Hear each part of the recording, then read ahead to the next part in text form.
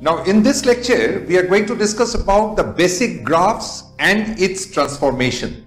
So before starting the chapter, I will tell you to remember the 10 basic graphs that I am going to show you first.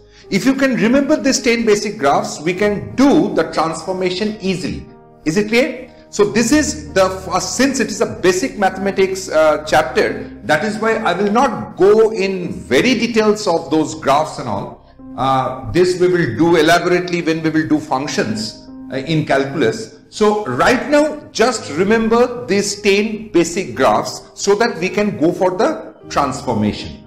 So this is our first graph which is your y equals to x. Is it clear? y equals to x is basically a straight line passing through the origin. You know the coordinate system, right? In class 10 standard, you have all gone through this coordinate system. So this is the equation of a straight line which is passing through the origin. This is the equation y equals to x. Okay. This is our second graph which is your y equals to x square y equals to x square. In geometry, we call this thing as parabola. So don't try to remember right now that the name of this curve is parabola. Just remember the curve. Okay. For a time being, just remember the curve. So this is your y equals to x square. Okay. Now the third basic graph is y equals to mod of x. y equals to mod of x. Mod of x we know. We have done this thing in special functions. The graph of mod x looks like this. The right hand side line is, you have seen that I have already uh, mentioned that the line, the equation of the line is y equals to x and in the left hand side the equation of the line is y equals to minus x. So this is the graph of y equals to mod x as a whole.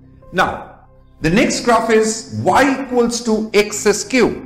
y equals to x cube, you just remember this curve. It is passing through the origin and you see it is symmetric you know it is symmetric about the origin right in the first quadrant the portion of the graph is same as the portion of the graph in the third quadrant that is why this graph is symmetric about the origin the equation uh, we uh, the equation of this graph is y equals to x cube now see the next graph which is y equals to root x Okay, this is the equation, this is the curve of y equals to root x. Just remember those basic graphs.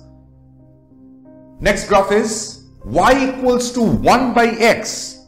You see, the curve is not touching the x and y axis. Is it touching the x and y axis? No. It is coming very, very close to the x and y axis, but it is not touching this kind of lines where the curve is coming very close to a line but it is not touching that line that kind of line is what called your asymptote it's clear it is called asymptote. So here in this curve y equals to 1 by x your x axis as well as y axis is your asymptote. Is it clear? Now the next curve is y equals to sine x.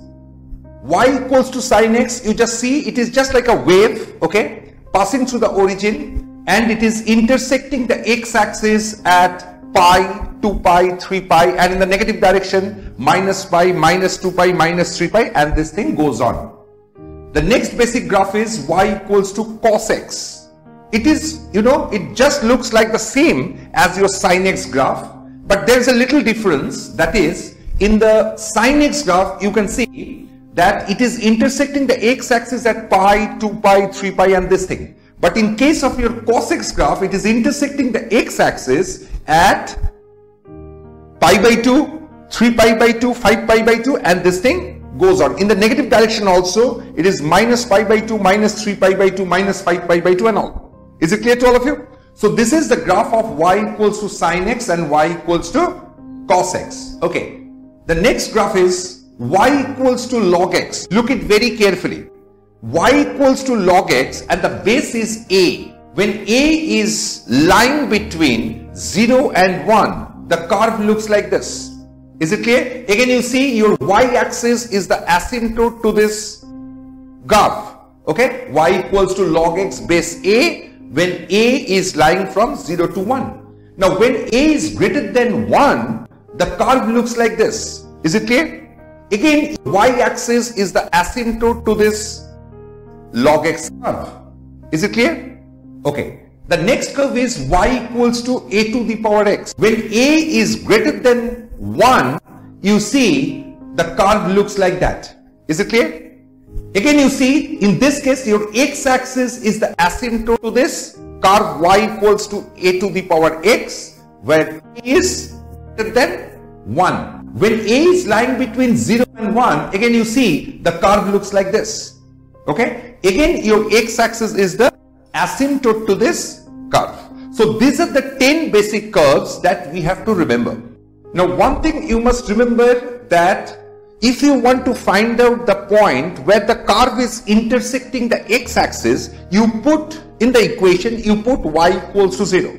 So you will get the point where it is intersecting, I mean the curve is intersecting the x-axis. And if you want to find out the curve where it is intersecting the y-axis, you put x equals to 0 in the equation. So you will get the value of y. That y is basically the ordinate of that point where the curve is intersecting the y-axis. Okay.